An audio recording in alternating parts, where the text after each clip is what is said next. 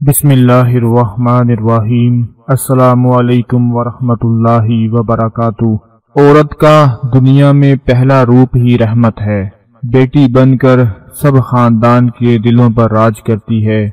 बहन बनकर भाई की सच्ची और मुखलिस दोस्त बन जाती है और माँ का बाजू बन जाती है। जब बीवी होती है तो एक पुख्ता और हमेशा साथ निभाने वाली हर दुख सुख की साथी बन जाती है। और जब माँ बनती है तो अल्लाह ताला उसका रुतबा इतना बुलंद कर देता है कि जन्नत को उठाकर उसके कदमों में डाल देता है। औरत का बहुत ज़्यादा मुकाम है, लेकिन इसके साथ साथ आज मैं आपको औरत की कुछ ऐसी गलतियों के बारे में बताऊँगा कि अगर वो इन गलतियों को सुधार ले तो उसके घर में इतनी बरकतें नाजिल होंगी, इतनी रहमतें नाजिल होंगी, इतना रिस्क नाजिल होगा कि कभी खत्म ही नहीं हो पाएगा। नहाते वक्त, यानी गुसल लेते वक्त, औरत की ये मामूली सी गलती आपके रिस्क में बेबरकती पैदा कर सकती है। सारी बरकतें राख बनकर उड़ जाती हैं। घर में रिस्क की कमी होना शुरू हो जाती है। ना इतफाकी नाराज़गी लड़ाई झगड़े ये सब ज़िंदगी में आम हो जाते हैं और उस घर से कभी खत्म नहीं होते। आज मैं आपको कुछ ऐसी छोटी छोटी गलतियों के बारे में बताऊँगा कि जो कभी औरत को नहाते वक्त यानी गुसल लेते वक्त नहीं करनी चाहिए, क्योंकि घर की सारी बरकत एक पाक औरत की वजह से होती है।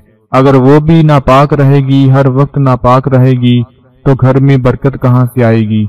अगर वो इन गलतियों को सुधारेगी नहीं बल्कि इनको नजरअंदाज करती रहेगी तो फिर शोहर जितना मर्ज़ी कमा ले, दौलत का पता नहीं चलेगा, रिस्क में बरकत नहीं रहेगी, जितनी भी हलाल की चीज़ें होंगी, उन सबसे बरकत खत्म हो जाएगी और आपको पता भी नहीं चलेगा कि ये सब कुछ इतनी खामोशी से कैसे हो गया। औरत जब भी गुसल ले यानी नहाए तो इन पाँच बातों को हमेशा याद रखे जो मैं आपको बताने जा रहा हूँ। हर औरत इनको याद रखे सबसे पहले नंबर पर जो बड़ी गलती है, वो ये है कि औरत खड़ी होकर कभी गुसल ना ले।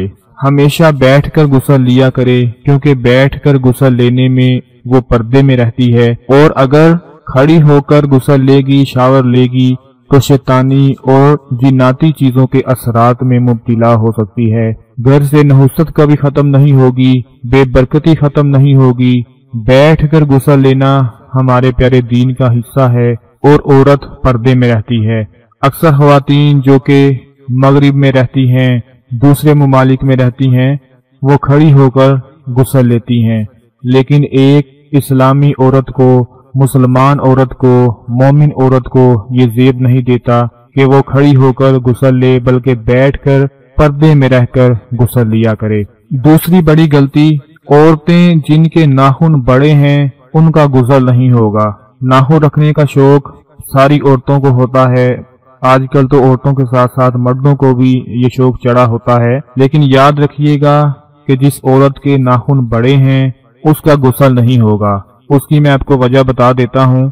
अक्सर ऐसा होता है कि आटा गूंदते वक्त वो नाखून में चला जाता है या घर की सफ़ाई करते वक्त, झाड़ू लगाते वक्त या घर का कूड़ा इकट्ठा करते वक्त डस्ट जो होती है, मट्टी होती है, वो बड़े नाखून में चली जाती है और औरत इस बात को नजरअंदाज कर देती है, उसको साफ़ नहीं करती और जब नापाकी की हालत में गुसल लेती है तो समझती है, मैं पाक हो चुकी हूँ। हालाँकि वो पाक नहीं हुई होती। जब तक के अपने नाखून को साफ़ ना कर ले, अच्छी तरह से साफ़ ना कर ले, जब तक के नाखून के अंदर तक पानी ना चला जाए। हफ़्ते में एक बार नाखून लाजमी काट लिया करें।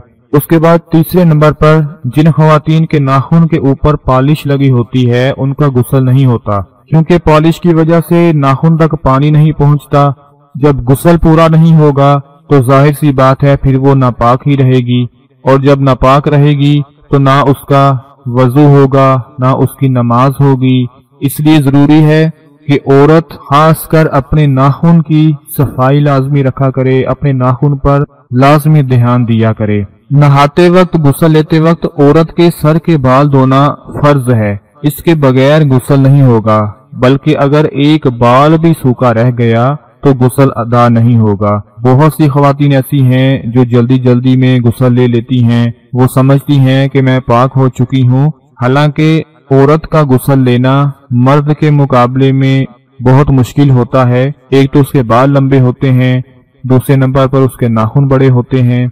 जिनकी सफ़ाई करना, जिनको बड़े एहतियात से गुसल के फ़राइज अंजाम देना बहुत ज़रूरी होता है। वो तमाम औरतें, वो तमाम खातन जो गुस्सा लेते वक्त इन गलतियों को नजरअंदाज कर देती हैं, इन गलतियों को दोहराती हैं, अपने नाखून साफ़ नहीं करती, नान के ऊपर पॉलिश ऐसे ही लगी रहती है, खड़ी होकर गुस्सा लेती हैं, बैठकर नहीं लेती, अपने बालों को मुकम्मल तौर पर नहीं धोती। ये ऐसी छोटी छोटी गलतियाँ हैं कि अगर इस पर आपने गौर ना किया, इसको नजरअंदाज कर दिया तो आपके गुस्सा लेने का कोई फ़ायदा नहीं होगा। अगर आप नापाकी की हालत में हैं और इन गलतियों को नजरअंदाज करके गुस्सा ले लेती हैं तो समझ लें कि आप हर वक्त नापाक ही रहेंगी। और याद रखिएगा कि जो औरत घर में हर वक्त नापाकी की हालत में रहती है, अगर वो खाना बनाती है तो उसमें बरकत नहीं रहती। अगर वो खाना खाती है तो उसमें बरकत नहीं रहती। अगर उसका शोहर घर में मेहनत मजदूरी करके रिस्क, दौलत लेकर आता है और औरत के हाथों में थमा देता है तो उससे बरकत खत्म हो जाती है। लिहाजा मेरी तमाम भाइयों, बहनों से गुजारिश है और मेरी तमाम देखने और सुनने वाले दोस्तों से गुजारिश है कि घर में मौजूद अपनी खातन को ये बातें ज़रूर बताएँ, चाहे वो आपकी बीवी हो, चाहे आपकी बहन हो, चाहे आपकी बेटी हो क्योंकि यही वो चीज़ें हैं जिनको अगर नजरअंदाज कर दिया तो घर में बेबरकती आना शुरू होगी, जिसका आपको पता भी नहीं चलेगा, और अंदर ही अंदर से आपका सारा कुछ खत्म होता चला जाएगा। मेरी आप तमाम भाइयों से गुजारिश है, इस वीडियो को आपने सिर्फ़ अपने तक नहीं रखना, बल्कि दूसरे तमाम दोस्तों के साथ इसको ज़रूर शेयर करना है, क्योंकि अच्छी और सच्ची बातें शेयर करना सदका जारिया होता है। आजकल हर घर में नहुसत, बेबरकती ना इतफाकी इस तरह के बहुत से मसाइल पैदा हो रहे हैं और इसकी वजह यही है कि हम छोटी छोटी गलतियाँ नजरअंदाज कर जाते हैं, जिनको हम कुछ नहीं समझते, लेकिन वही गलतियाँ जब हमारे ऊपर असरअंदाज होती हैं तो हमें बुरे दिन देखने पड़ जाते हैं। इस छोटी सी वीडियो को आपने लाइक और शेयर ज़रूर कर देना है, अपना बहुत सारा ख्याल रखें, अपनी दुआओं में याद रखें। अल्लाह हाफिज।